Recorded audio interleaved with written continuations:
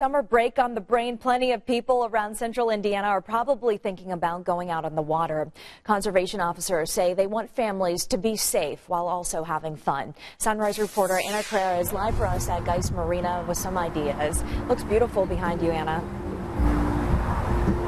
Uh, yeah, it is a beautiful day out here today. We've already seen some families heading out on the water, but we want to give you guys some ideas if you're getting out there. Just as good reminders. The number one thing, wear a life jacket. Conservation officers we talk with say they don't find it's drowning victims with these because these save lives. And another thing that it's a good idea to have one of these throwable flotation devices. You can toss one of these out in case so there's some kind of an emergency and people need help.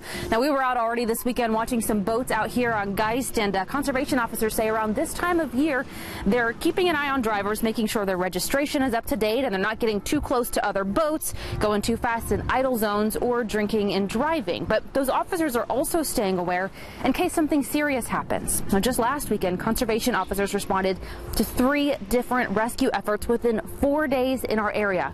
At Lake Monroe, they searched for three days before finding the body of a 26 year old man who was swimming off a pontoon when he disappeared. He was not wearing a life jacket.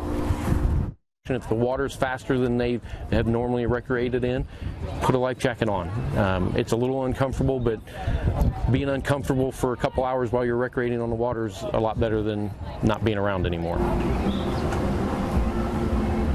Conservation officers are still searching for a man who went missing last weekend after canoeing in the White River at Indianapolis. He also was not wearing a life jacket, a common trend here. So conservation officers are saying, make sure you've got these life jackets. You don't necessarily have to wear them, but make sure you've got them in the boat, one per person, and make sure they fit you. So an adult size for an adult person, smaller ones for the little guys. Alyssa.